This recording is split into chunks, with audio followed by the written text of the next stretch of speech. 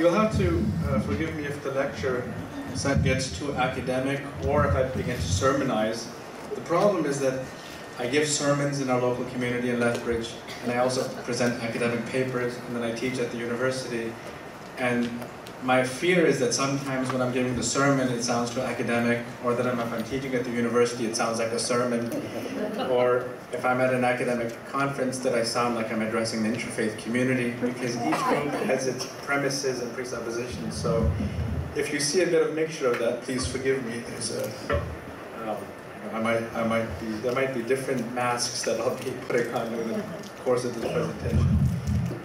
Now, initially I was supposed to speak about archetypes of uh, female spirituality in early, Suf, in early Islam.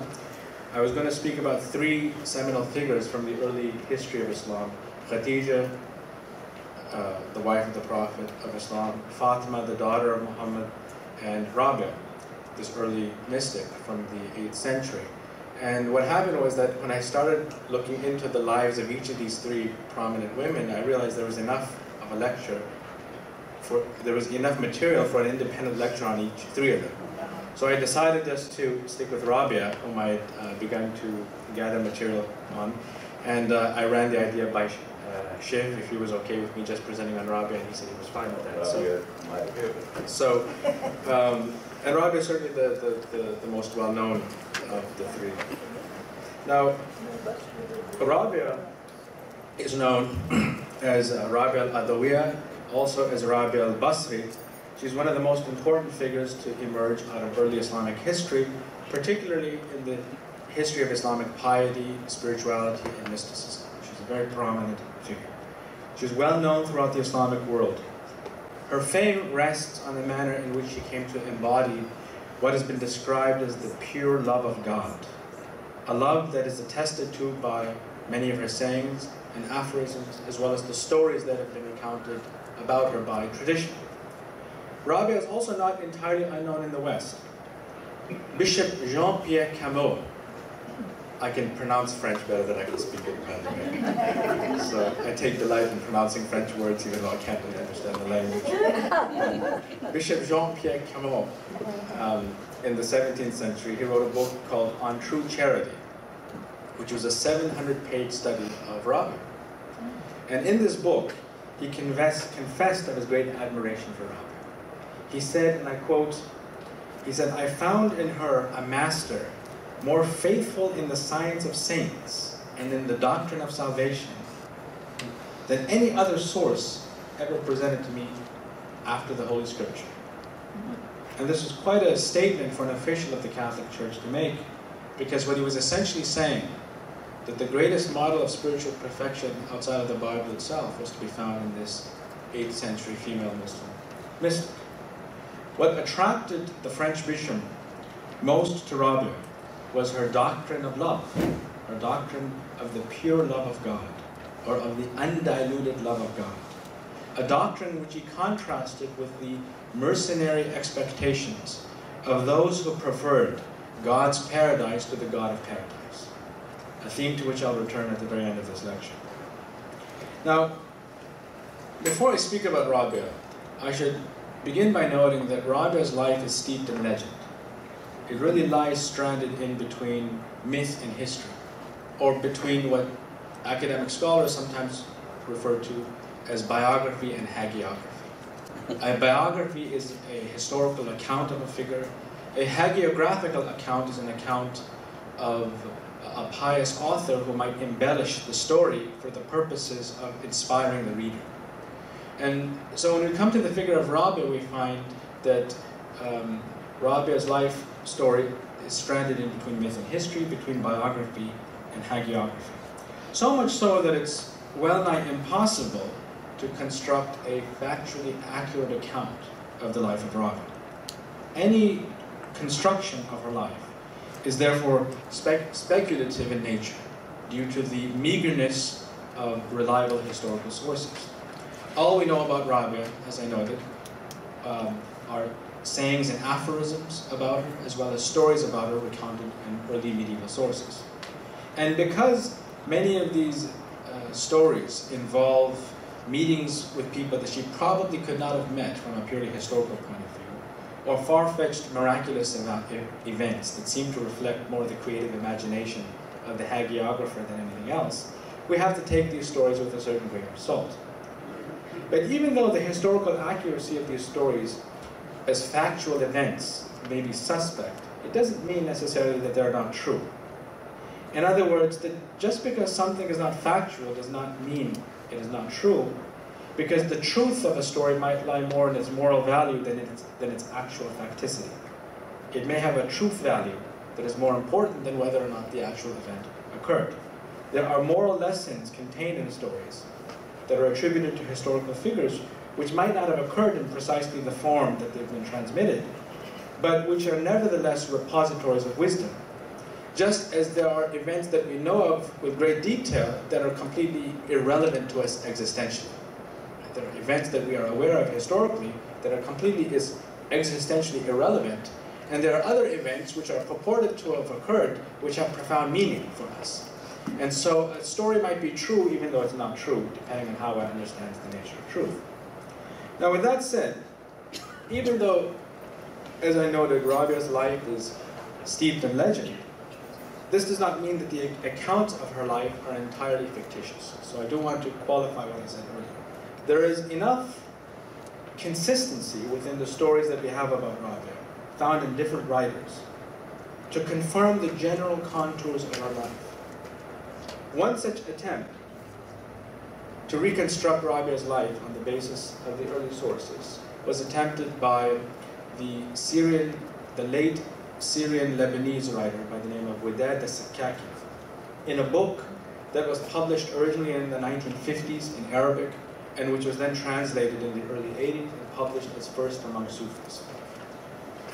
Uh, Wadad al-Sakkakini was a well-known Syrian Lebanese Le Lebanese Syrian novelist uh, who wrote between the 50s and the early 80s. What, Ra what, Dada Sakkakina did was that she used the source material, the medieval source material, to construct as best as she could the details of Rabia's life, even though her own work was marked by a certain degree of speculation, which she, later, which she herself confessed.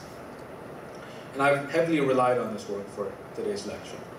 To Wadad Sakkakini's work, we should also add another study that came out many years ago by the British Orientalist Margaret Smith called Rabia the Mystic and Her Fellow Saints in Islam. There's also a forthcoming study of Rabia uh, by a professor at Emory University by the name of Rkia Cornell, who will be coming up with the most updated study and account of the life of Rabia. Now, as far as the medieval source material is concerned, one of the most extensive accounts of Rabia is to be found um, in a book called The Memorial of the Saints by Attar, a medieval Persian Sufi poet whose name you might have heard of because he's the author of the well-known book The Conference of the Birds, which is an epic Sufi poem translated into English many times. The same author uh, wrote a book called The Tadhkirat al-Awliya, or The Memorial of the Saints, which is a hagiographical account of the lives of the early saints. Now, I mentioned that her name is Rabia al-Basri. Rabia al-Basri simply means Rabia of Basra, or Rabia the Basra, because Rabia was the city of Basra in modern-day Iraq. Now, most of you are familiar with the name Basra, I imagine if you read the news, because Basra has been in the news ever since the recent war in Iraq. Um, it's, it's been all over the news, so most people are familiar with the name of Basra and Fallujah. It was in the news because it was found that the cancer rates in the regions of Fallujah and Basra were higher than they were in Japan after World War II. And that's how high the cancer rates were because of the, the bombing of the region. Um, and so that's why it's been in the news. In the medieval past, however, the pre-modern past, the city was known as a major metropolitan center. It was a major cultural, intellectual, uh, and religious uh, center in the region of the Near East. The city was sometimes referred to as the Venice of the East. The reason it was referred to as the Venice of the East was because it, has a, it had a series of interlocking canals which ran through the city, much like Venice. And so just as in Venice, how you can move from one part of the city to another on a canal because of the interlocking canals that connect the city. Similarly, Basra as a port city had a series of interlocking canals that could allow you to go from one part of the city to another. And so it was known as the Venice of the East. The city itself um, was built in the 7th century uh, under the rule of a man by the name of Omar the Conqueror, who was the second political successor of Muhammad. He was the second caliph after, to emerge after the death of Muhammad. And it was under his rule that the city was built on the site of an, of an old Persian settlement, a settlement of the Persian Empire. The city was almost built from scratch. The city derives its name because of the color of the soil. The soil of the region is black, and Basra, according to some accounts, means black soil. So the city is named because of the color of the soil of the region. Now, not long after Basra was developed in the 7th century, it became home to a large heterogeneous community, a mixed ethnic, cultural, and religious community made up of Arabs and non-Arabs, Muslims and non-Muslims. The non-Arabs were mostly of Persian, Malay, and Indian extraction who had immigrated to the region. And the non-Muslims were mostly of Jewish, Christian, and Zoroastrian background. So the city was ethnically and religiously diverse, and this diversity of the city allowed it to become a cultural capital of the region in the 7th century. So much so that the city actually reached its zenith in the 8th century, not long after it was built. In the words of Louis Massignon, who was a, a famous scholar of early Sufism, Basra, in fact, is the veritable crucible in which Islamic culture assumed its form, crystallized in the classical mold between the first and the fourth centuries. Basra was a very important city as far as the development of classical or medieval Islamic culture was concerned. Now, what do we know about Rabia herself? Well, Rabia, as far as the medieval sources are concerned, was born into an extremely impoverished family in um, the 8th century.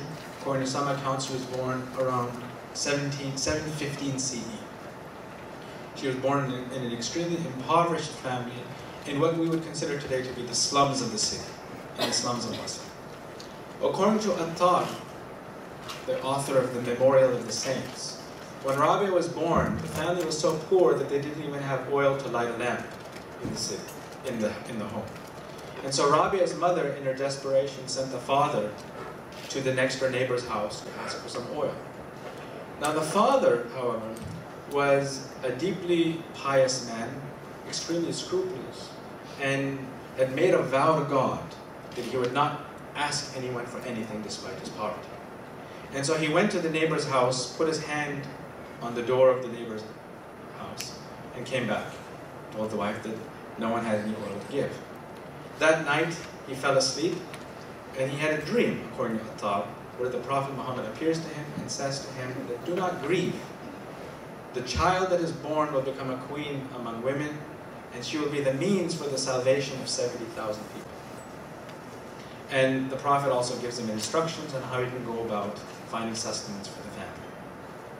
Now the sources, the medieval sources also tell us that um, from very early on, Rabia distinguished herself for her scrupulousness, her scrupulous piety, and her deep consciousness of God. The sources also tell us that um, Rabia was orphaned at a very young age. She grew up as an orphan. When her parents died, they left behind a number of children. Rabia was the fourth of them, by the way, which is why she's called Rabia. Rabia literally, literally means the fourth. That's why she's called Rabia. I gave a sermon on Rabia, and one fellow came up to me and said, you know, my aunt's name is Rabia, but she's the third child, so why would that be? And I said, she's probably named after Rabia al-Basri. now, Rabia, as I said, was orphaned as a, as a young child. She was, there were a number of sisters that were also orphaned with her. Not long after the parents died, a severe famine struck the city of Basra, so that the once blossoming city experienced a breakdown of social order. The poor were the ones that were most adversely affected in this breakdown of social order.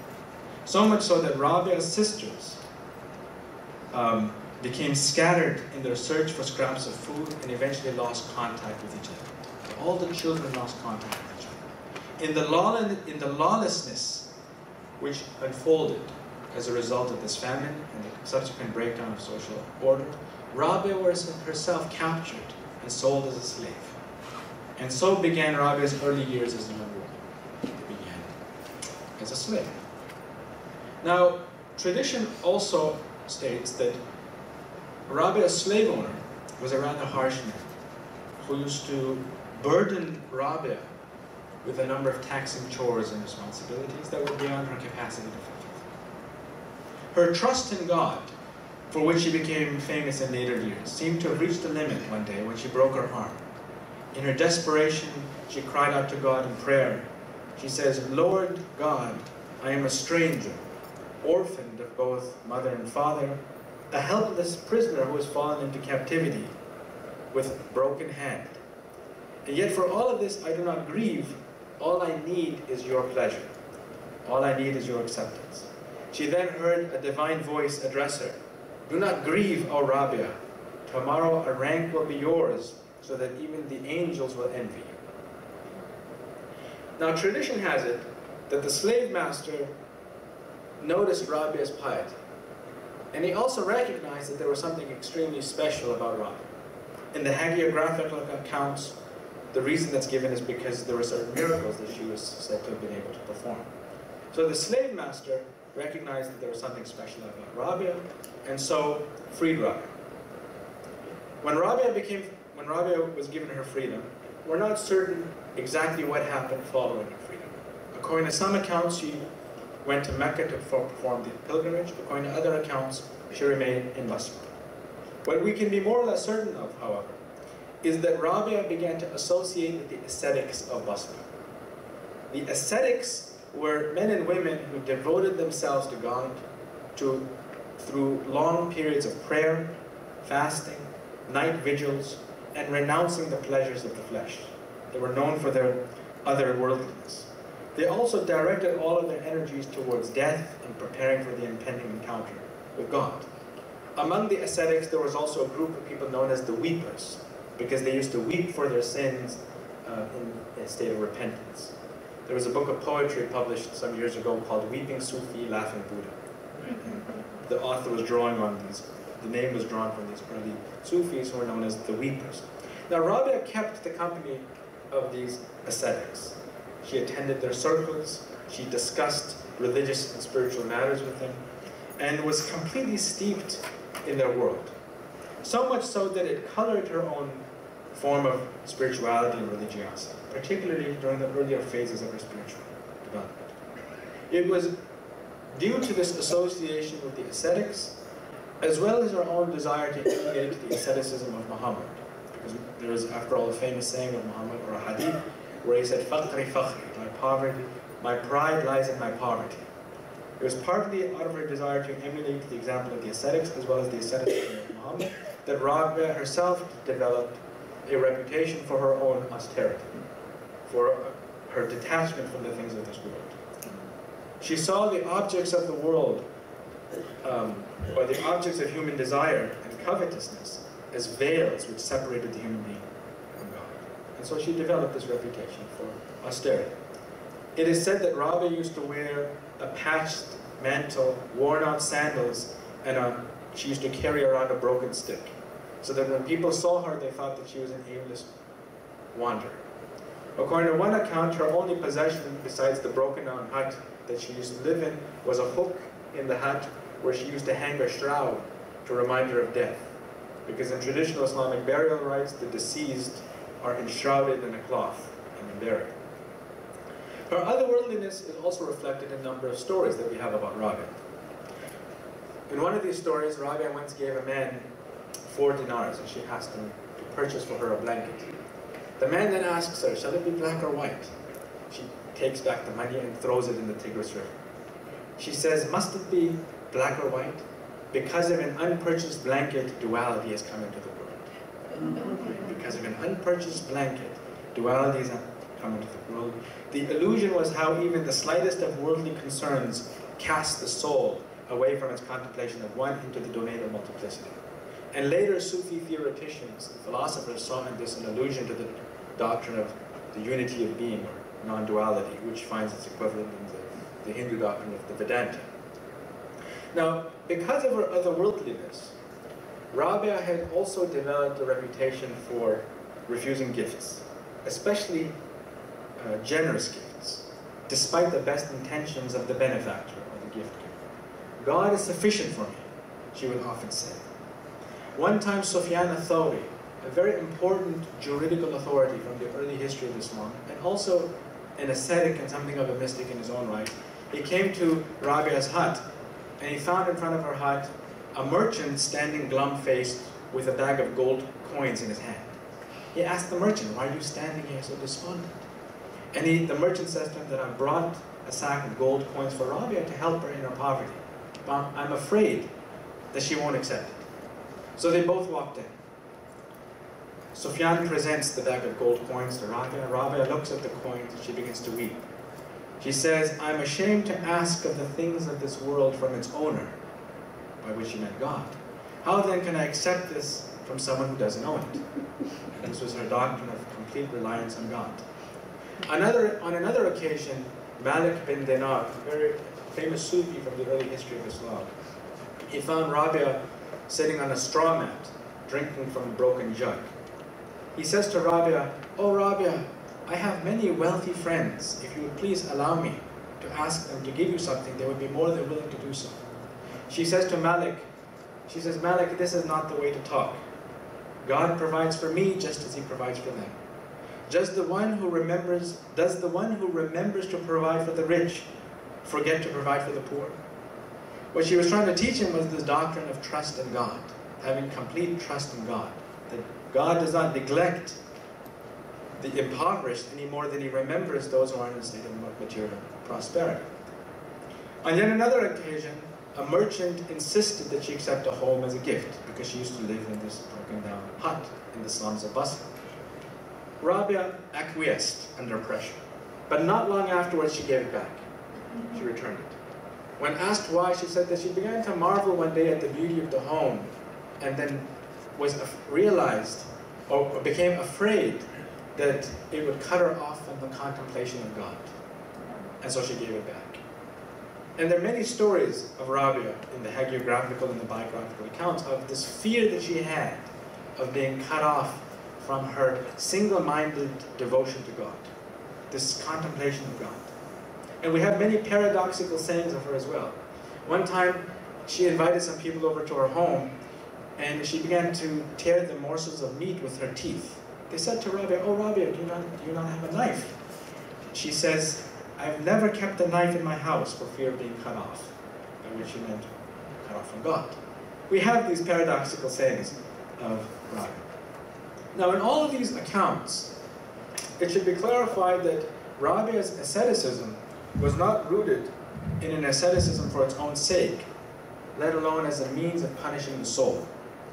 There were ascetics in the early history of Islam, just as there have been ascetics in the history of worlds, the religions of the world, who have adopted asceticism precisely as a means of self-laceration, of punishing the body, a, as a form of penitence. This was not the case with Rabia. For Rabia, it simply had to do with finding in God all that she sought. It had very little to do with any kind of contempt for the world. In fact, Rabia was rather critical of those who made public displays of their contempt for the world, because she felt that it reflected a hidden desire for it. One time, a religious dignitary came to Rabia's hut and began to speak with contempt about the world. He said, the world is this and the world is that, and worldly people are like this and worldly people are like that. Rabia says to the man, you love the world dearly. The man was shocked and somewhat embarrassed. He said, what, what do you mean? She says, if you didn't, you wouldn't remember it so much. After all, it is the buyer who disparages the goods. It is the buyer who disparages the goods. If you were free of the world, you would neither remember it for good or evil. Because a person remembers what they love. A person remembers what they love. So what she was trying to impress upon this man was that his obsession with the evils of the world in truth revealed a kind of covetousness for the world. That if he was truly preoccupied with God, that he would have no, no reason to berate the world, just as he would have no reason to speak well of the world. He would be indifferent to the world. This attitude of Rabia's was perhaps best reflected in a prayer that she would frequently recite. The prayer was, O Lord, give my portion of the world to your enemies, and give my portion of the next world, heaven, to your friends. You are enough for me. Give my portion of this world to your enemies, and give my portion of the next world to your friends, because you are enough for me. In her life, one finds, therefore, a living example of the teachings of Christ that we do not live on bread alone. Because what Rabia found through the inner life was a richness that she could not find in the outward life. She found in a life of contemplation, in a life of interiority, in a life of inwardness and prayer, which you could not find in any other kind of life. It is like the story of the time, it is like the time that one of Rabia's servant girls came to Rabia on a morning spring day. She comes to Rabia's door. She says to Rabia, Oh, Rabia, come outside and look at the beauty of creation. Rabia says to her, Rather come within and look at the beauty of the Creator. The contemplation of God has turned me away or preoccupied me from gazing at anything other than God. In other words, why should one be preoccupied with contemplating the beauty of God in his reflections when one can contemplate God directly through the inner life, through the, through the inward life, prayer and meditation. Now, one of the most interesting features that we notice in many of the accounts of Rabia is of her open, even intimate interactions with men.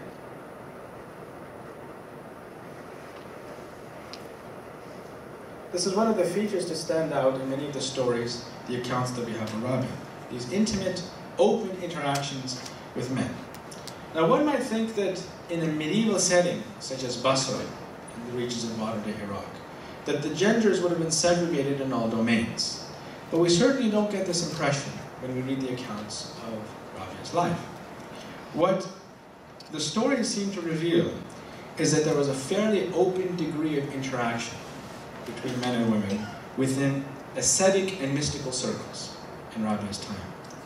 In the case of Rabia, it is very clear that she had very close ties with many of the men of her time in a spirit of spiritual companionship.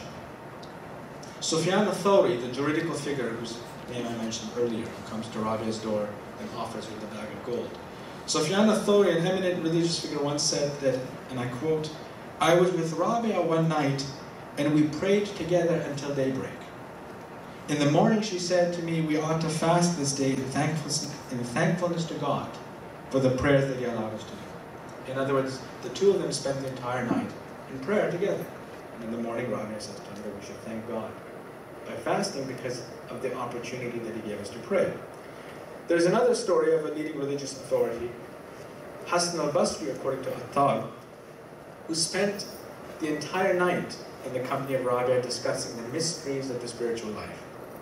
The next morning he said that the entire night the thought that I am a man and she is a woman never crossed my mind. That's what he said. The entire night the thought that I am a man and she is a woman never crossed my mind.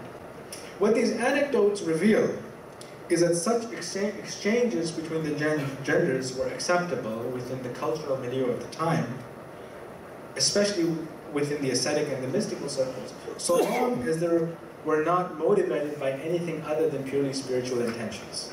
If the intentions were purely spiritual, then it was acceptable within the ascetic and mystical circles for men and women to openly interact with each other. However, one thing we also learn from these interactions with men is that Rabia, if Rabia ever felt that a man took a personal interest in her, that she would quickly rebuff him. In fact, Rabia became quite famous in later history for the wit and the creativity and the humor with which she would often refuse suitors who came to her proposing marriage.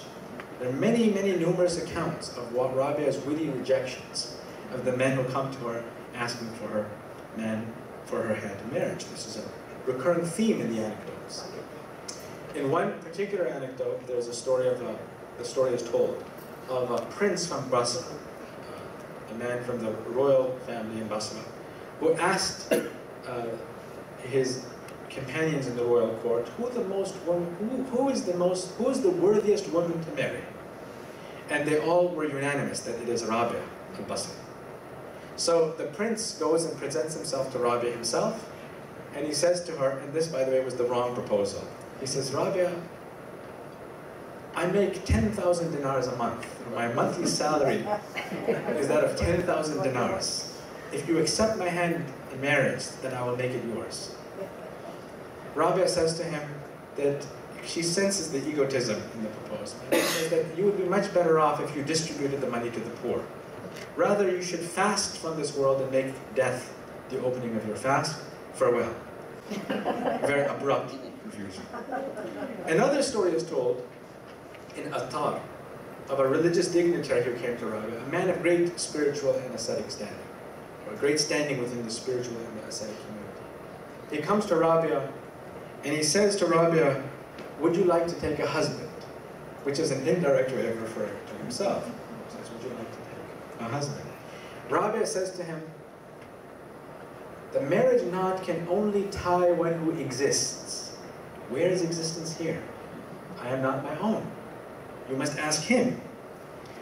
In other words, she had transcended existence to such an extent that she could be not she could not be tied down or bound to marriage a, to anyone.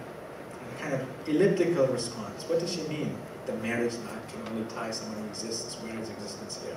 She had transcended existence, attained some kind of degree of enlightenment, and she couldn't be tied down to anything other than God. The man was overtaken by her response. He asks her, by what means did you attain this degree? And Rabia says, by losing in him all that I had attained. By losing in him and all that, all that I had attained. In other words, she had completely emptied her soul of everything other than God, so that it was filled with the light of gnosis and the light of enlightenment. Rabia, the man then says to Rabia, even more impressed, Oh Rabia, please do tell me how it is that you have come to know God. And Rabia then says to him, you know the how, we know the know-how, N-O, how. Very elliptical way of responding to the man, but nevertheless, you can see why this became, this became the subject of lengthy exegesis in later tradition. You know the how, we know the know-how. Now, one of the most recurring of themes to stand out in these stories of Rabia is how she would often put men in their places. Often religious dignitaries, even men of great religious standing. And these men would admire her even more for this. And so this is also a recurring theme. In this respect, Rabia's sayings form part of a genre in Sufi literature where a saint might act as something of a gadfly, provoking his listener or her listener to come to a greater knowledge of their own shortcoming and thereby a greater knowledge of truth. This is a recurring theme, where the saint utters a word of truth that's hard for the listener, but helps awaken a, high, a greater degree of enlightenment and knowledge in the listener. And there are many such stories of this kind. We have, for example, the story of the, the, the saint who once said to the man who was leading the prayer in a congregation, the God that you worship lies beneath your feet. The community is aghast. What kind of blasphemous talk is this? The God that you worship lies beneath your feet. Later they found a treasure buried underneath the spot where the man would pray, meaning he was just a slave of wealth. We have another account of Nuri, this early Sufi, who once heard the muazzin who makes the call to prayer, shouting out at the top of his lungs, God is great, God is great. Rumi says, kill and stab the man. And then he hears a dog barking. To which he responds, Labbaik Allahumma labbaik, here I am my Lord at your service, here I am my Lord, which is what the pilgrims recite when they go to Mecca. So he says to the muazzin, to the people who hear the muazzin, kill and stab the man, and he says to the dog, here I am my Lord at your service. There's quite a commotion that's created. He's finally brought to the court of the caliph, and he's asked to explain his words, and he said that the muazzin was simply making the call to prayer for his paycheck. Whereas the dog was praising God the only way that it knows how to. because there's a verse in the Quran that says, everything that is in the heavens and the earth praises God, but you do not understand their praise. So the dog was engaged in the prayer, while the Muslim was just looking for his paycheck. So we have many of these stories in Sufi literature where the saint acts as something of a gadfly to provoke the listener to come to a greater knowledge of their own shortcoming. and of truth. So we have such stories of Rabia. There's a story one time of Sufyan al-Thawri, who makes his way into Rabia's company in the presence of some other men, and he prays out loud. He says, May God be well pleased with us. Or, Oh God, be well pleased with us. Rabia says to him in front of everyone else, You should be ashamed to ask God for his good pleasure, when you yourself are not well pleased with God. They ask Rabia, Explain your words, O Rabia. When is a man well pleased with God? She says, When his joy in tribulation is the same as his joy in blessing. Only then is a man truly content and well pleased with God, because it is all the same. Everything is coming from the same source. Everything lies in the hands and the power of God. There's a wisdom, a providential wisdom behind everything. And one is so detached from the fluctuations of life that they're all the same. On another occasion, the Rabia asked a group of men to explain the meaning of generosity. One of the men gets up and says, Generosity in the eyes of worldly people is generosity with one's wealth. Whereas generosity in the eyes of the people of the next world is generosity with themselves. They're generous with themselves. Rabia says this is a good answer, but not good enough. She says that the highest form of generosity is adoring God without even a thought for return.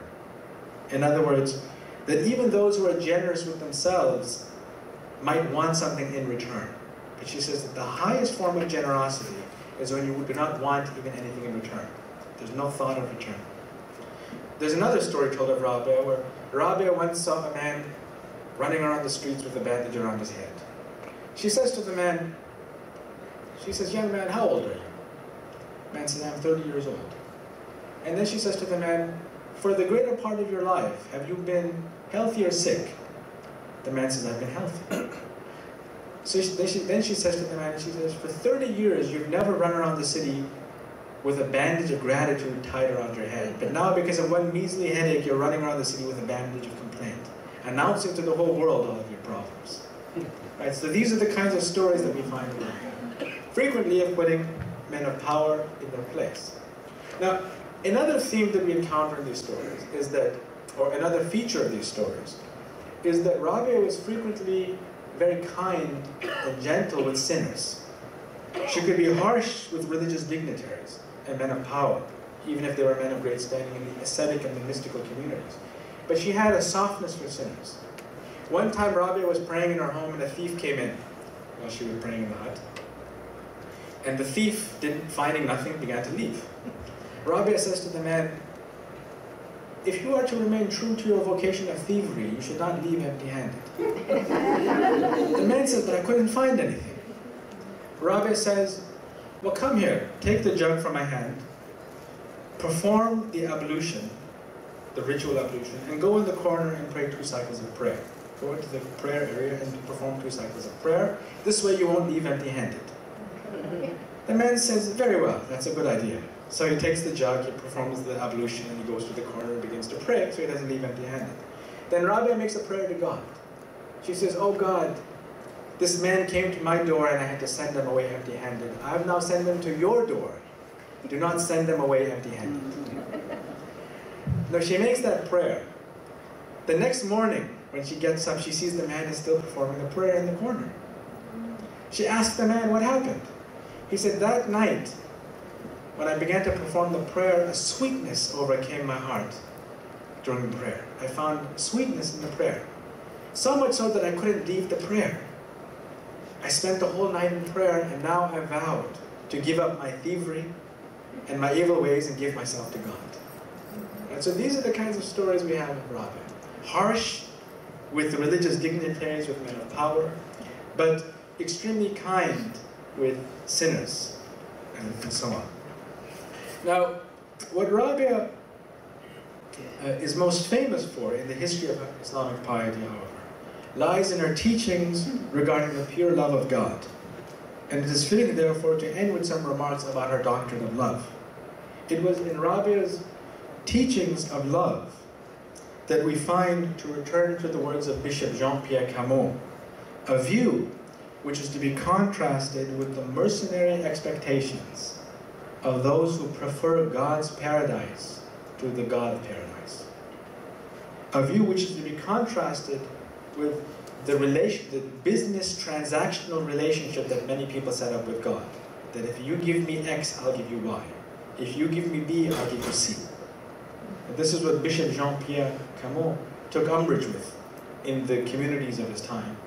That believers sometimes end up developing a kind of business transactional relationship with God. And he spoke of this, he said that such people are mercenaries in truth because they prefer God's paradise to the God of paradise. And so we have many, uh, many stories about Rabia in which this doctrine of love is found. A group of important people once came to Rabia.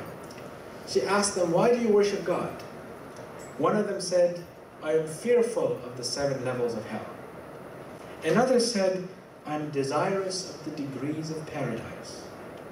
Rabia then says to them, to both of them, as well as to the company that they were in, it is indeed a weak soul that worships God out of fear or desire. Well, why then do you adore God, Rabia? They asked. Do you not have any fears or desires? Rabia responds by saying, First the neighbor, then the house. Ajar If there were no heaven or hell, would there be no reason to adore him? What she meant that God should be adored for no other reason than simply love. By first the neighbor, then the house, Ajar thumma what she meant was precisely what Bishop Jean-Pierre had in mind when he spoke of the mercenary nature or the mercenary expectations of those who preferred God's paradise to the God of paradise. This is what he had in mind. Now, this doctrine of love is also found in a prayer of Rabia's, where she would pray to God. She would say, Oh Lord, if I worship you out of fear of hell, burn me in hell. And if I worship you out of a desire for paradise, cut me off from paradise. but if I, adore, if I adore you for your own sake, do not deprive me of your eternal beauty. This teaching of Rabia's is perhaps found most famously in the story of Rabia, where she was once seen running through the streets of Basra with a torch in one hand and the bucket of water in the other. And they said to, oh, they said to Rabia, Oh Rabia, where goeth thou? With the torch and the bucket. And she said, With the bucket I wish to douse the flames of hell, and with the torch I wish to burn paradise to the ground, so that people will adore God for, for no other reason than out of a pure and undiluted love of God. And this is what Rabia has come to be known to in later project. Thank you very much.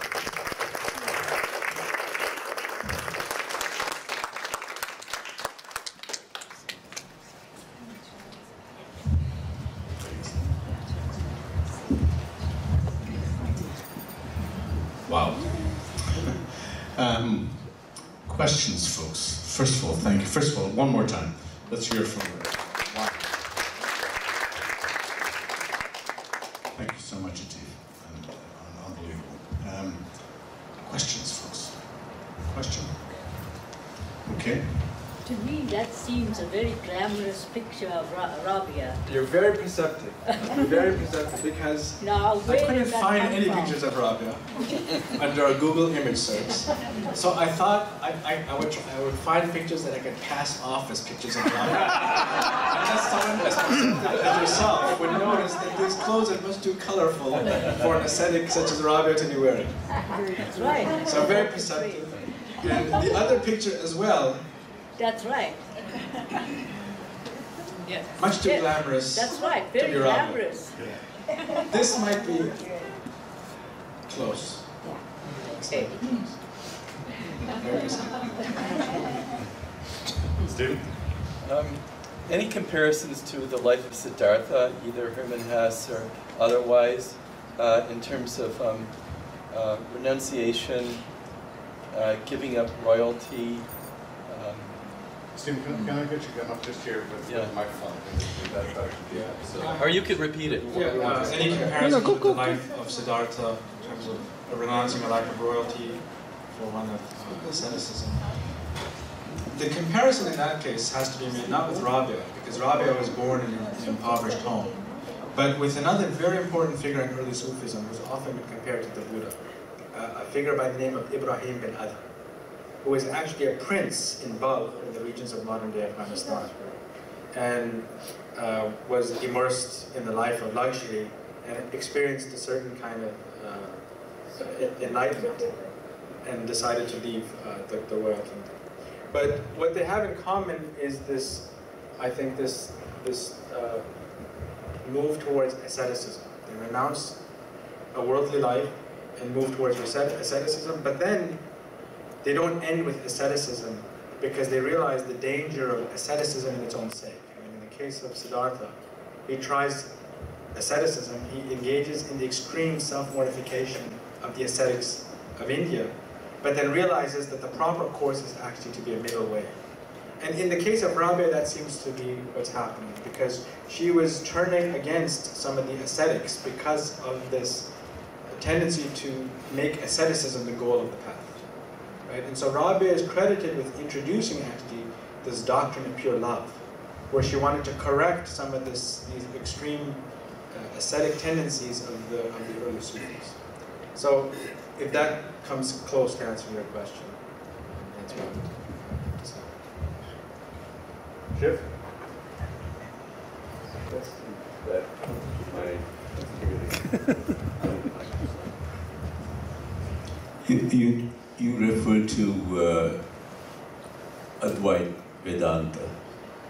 Um, love for God was it was a monistic love or a dualistic love? This is a difficult question to answer for reasons that I explained in the beginning, namely how difficult it is to actually know Rabia's actual views on many different questions. Her life, because her life is steeped in legend, and sometimes the hagiographer's personality is more present in the account than Rabia's own personality. It becomes very difficult to know what her actual position was on certain, on, on such subtle philosophical questions, whether she was a non-dualist or not.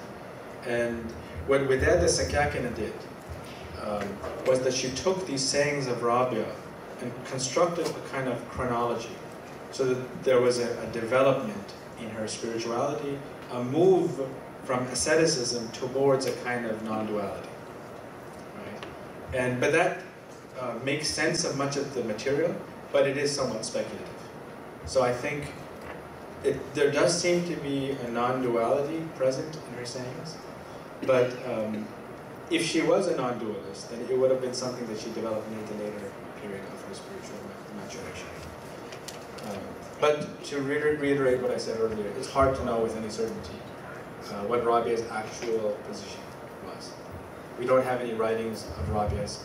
Um, all we know about her, we know through other writers re recounted stories and same Thank you, Adi. Thank you for enlightening us for Rabi, a pious woman, great lady. And my question is regarding at that time period, did she conform to the Islamic laws or the al-Sharia, you call it? Did they accept her, whatever she was saying as a pious lady, or did they revolt it against her? And again, uh, how you compare up to the other religions like we have Mata Devi, Durga, and all that uh, energetic women in their mythology. But still, as a woman of Joan of Arc or any other history uh, depicting her as that, or she was more devoted to God as a pious woman and a devotee lady. Uh, it's difficult for me to come up with any comparisons with women in other traditions. No one comes to mind. But in terms of the first question, um, it was it was part of it was normative in the Sufi tradition for everyone to have to live a life that was in conformity to the norms of Islamic piety. So this would have meant the performance of the rituals, the five prayers, the fasting, and so on. So there's nothing to that effect that we find in Rabia's life there was a certain kind of conformity to the outward norms of religion in all of the ascetics and all of the early Sufis. What we find, however, in Rabia, if anything, which did provoke some discomfort, was an extreme iconoclasm. In other words, she could not tolerate any intermediaries between her and God. So there's one story of Rabia that was told where Rabia make, makes her way to the pilgrimage On the way to making the pilgrimage, her donkey dies. She's delayed in the pilgrimage. She's tired and exhausted. What happens is that the Kaaba then, this is hagiographical, the Kaaba then comes out to greet her. Instead of her going to the Kaaba, the Kaaba itself, itself makes its way to Rabia. And Rabia says to the Kaaba, I did not come for the Kaaba, I came for the Lord of the Kaaba. right? The Kaaba is just a black stone. So you see this kind of extreme iconoclasm. There's another story of Rabia where they asked Rabia, Oh Rabia, do you hate Satan? She says, My soul is so consumed with the love of God that I have no room for the hatred of another. But that's not the problem. There's another story of Rabia where the Prophet Muhammad appears to her in, a dream. And he says to Rabia, Oh Rabia, do you love me? The Prophet asks Rabia, Oh Rabia, do you love me? She says, Oh Prophet of God, who is there that doesn't love you? From the community of the Prophet. But my heart is so consumed with the love of God that there's no room for the love of another. So that's a kind of iconoclasm. She couldn't accept any intermediary between her own personal relationship with God. And so some of those sayings then became problematic for the more clerical establishment, as well as her very open criticism of those who sought paradise. She saw it as a very low spiritual ambition. Mm-hmm. And so you'll find certain clerics saying that how can you be critical of this desire for paradise when scripture is replete with descriptions of paradise? And so Rabia herself only, she didn't, see, she didn't see that there was anything wrong with it. She felt that it was a spiritual imperfection. Mm-hmm. That, you, that your aspiration should be higher than paradise. Sure, the common believer seeks paradise and there's nothing wrong with it. But if you're a real lover of God, then you should, as Bishop Jean-Pierre said, you should prefer the God of paradise. You should prefer the God of paradise to God's paradise. So that's where you get some of the tensions with the clerical establishment. But in terms of her outward conformity to Islam, there's no question. That she was outwardly a very pious woman, very scrupulous in her observance of the rites and the rituals of the laws of Islam. I'm going to interrupt you. So you're a Muslim man. What would a Muslim woman take from Rabia's life in living today in North America? I think that's a, maybe a question to ask a Muslim woman. Do present it. Um, I mean, I think, for me personally, I think, um, like I said, I can't speak about what a Muslim woman would take. Um, I think there's a message there that really transcends gender. Um, that she's an inspiration. I mean, this doctrine of the pure love of God. It doesn't matter what your gender is. Um, it's a beautiful doctrine. And, you know, initially, when I read Rabia's aphorisms, I thought, you know, she's putting these men in their places all the time. And I thought this is like a particular gender dynamic, and this is what's being highlighted. But then later on, as I read more of these Sufi accounts, I realized, as I pointed out in the lecture, that it's really just part of a genre of Sufi literature where the powerless speak a word of truth to those in power. And there's a saying of Muhammad where he says that the, the greatest act of jihad is actually a word of truth in the presence of a tyrant. The greatest act of jihad is the word of truth in the presence of a tyrant. And so you get a kind of lesser embodiment of that in this the history of Sufism, where the saints who have no power would speak a word of truth to um, uh, someone in power. And so I think in Rabia's case, you know, there's more going on than simply a gender dynamic. There's more a power dynamic that she's that she's uh, that she's embodying. So uh, that's what I would, I would say.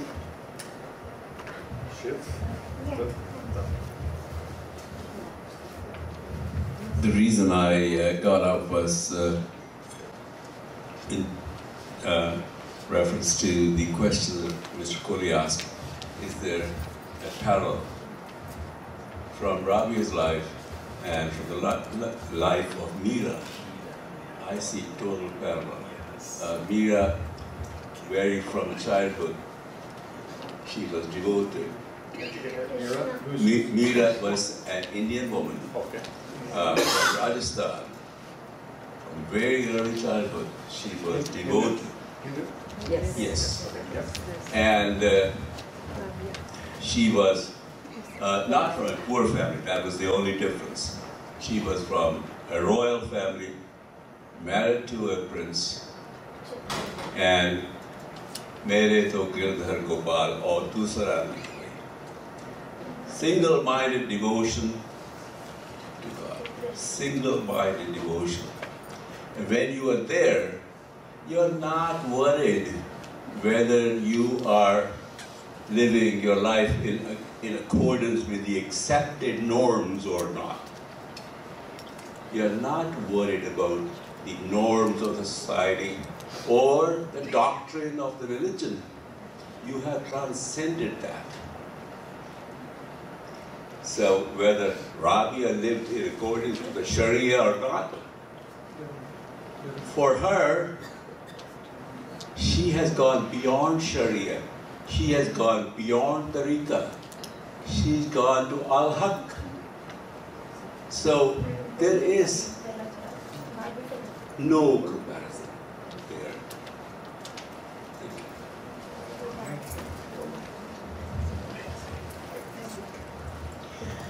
I, I actually am Muslim. I, I'm not sure what I identify with. I'm not sure if I'm Sufi or Sunni or not. Um, I don't see any conflict uh, between what uh, uh, was uh, practicing in her life because as a, as a Muslim, my understanding of Islam is that it is a direct relation. There is no focus on clerics or any other human. Uh, the relationship is direct. And Shiv, Sharia is a man-made thing. It's it's not a, a, a it's not related to God. Am I? That's the question. Can we keep it to questions, folks? I know it's very encouraging to kind of, uh, but we keep it to questions if we can. Sandy No, asking the But, Muslim. but the question, but the question, let's answer, is, are you correct? That was the question. Well, just to comment on what Shiv had said and what you yourself had said, uh, I think definitely when you read the writings of the great spiritual masters of the religions, it doesn't matter which tradition you're talking about, the religious rites and the rituals are simply a means to an end. They're never meant to become an end in, in and of themselves. And there's a certain element of iconoclasm in all of the great mystics of the world. Don't take the means to be an end. And that's the problem with fundamentalism because religious fundamentalism tends to make the means an end. It becomes obsessed with the forms, the symbols, right, the externalities of religion. Whereas what we learn from the mystics of all the religions is that um, don't take them to be ends in and of themselves. But most of the, to, from my own reading of the history of mysticism, most of them have obtained or reached the end through the means. So even though the means is not to be confused with the end, the means are necessary in order to reach the end. No doubt. And so, like Mira, the, who you mentioned, now I don't know, I haven't studied life of Mira, but I'm sure that if you study her life, you'll find that her practice was quite infused with Hindu rites and rituals and so on, but it was simply a means to And first of all, isn't that wonderful? Yes. That is just wonderful. Like in terms, of, it's a means to an end. We're still, anyhow, it was just that uh, last year you put up that uh, mountain of praying philosophy, and that's the means to. And one thing I remember you saying is you're climbing the mountain. Don't be looking over the other things and saying how they're doing, and, and jump over here. You'll never make it to the top. Um, yeah. I'm speaking for her. It's her request. She says Rabia was a Sufi poet. Do you think you can sing one of her poems, any of her poem? You don't have to be a singer. With the camera on, you'd have to pull teeth out. That's my job. You got the camera off, you still have to pull teeth out. I'm sorry to say that's like. It's okay. Um, no, she is. I, I, have, I don't know her poetry. No. I don't know her poetry. I don't think she was a poet. There, well, there are poems. As- There are poems ascribed to her. There are, Yeah. there are some. And you can find them on YouTube, actually. I have you can find everything on YouTube now. Google Yeah, no, there are poems attributed to Any other question, folks? Uh, Vicky? Oh. Vicky? Vicky? Next time. Any other questions? Wow. Anyhow, Atif, you are always just just wonderful to have you here. Um, and thank you so much on behalf of us all. And I'm going to turn this over to Vicky to get, um, to do a little presentation. Come on over here. Come come come this way. Oh, Uh, oh, Atif, Thank you so much, uh, Dr. Shinkla. Um, so on behalf of, of Shin and, and Griff here, thank you so much for sharing your wisdom and insights. It's wonderful. Thank, thank you very much. The, the beauty you see is the beauty of your own soul. So, uh, you know, I appreciate the gratitude uh, the the.